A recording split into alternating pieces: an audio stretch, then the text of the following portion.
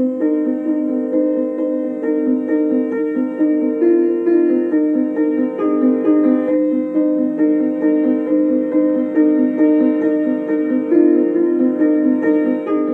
Denyse Spice and I was born in Brisbane quite a long time ago and I must say when I saw Sydney I thought that's the place for me.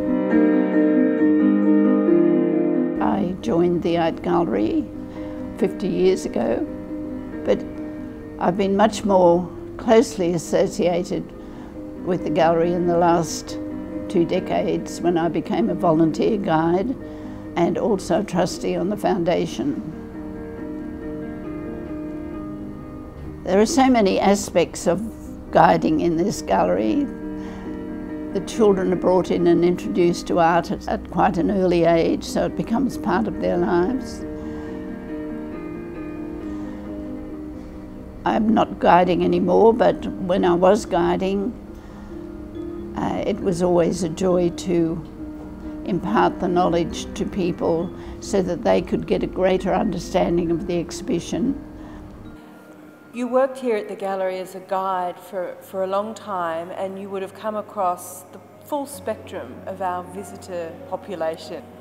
How do you feel a bequest contributes to visitors' experience of this gallery and of, and of Sydney?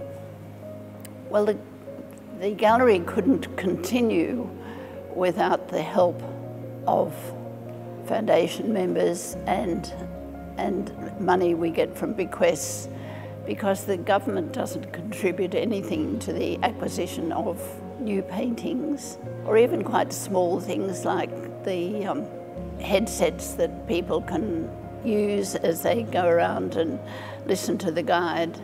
And it needs patrons to be aware that we need money from outside to help the gallery along.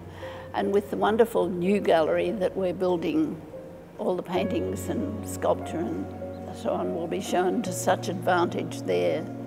And it'll be such a beautiful place on the harbour and certainly an icon, I think, overseas visitors to visit in Sydney. I think it behoves all of us to leave something to society according to our means.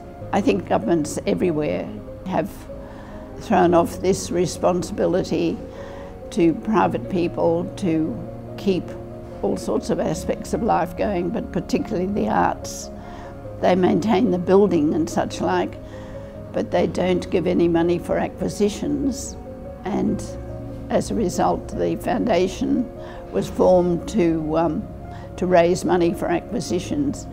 But we need even more than that. We need bequests to keep the gallery going and to keep the, the life going in the gallery. It can't remain a static place. It, it has to be enlivened all the time and exhibitions brought from overseas so that if you can't travel and see them, you can enjoy them here.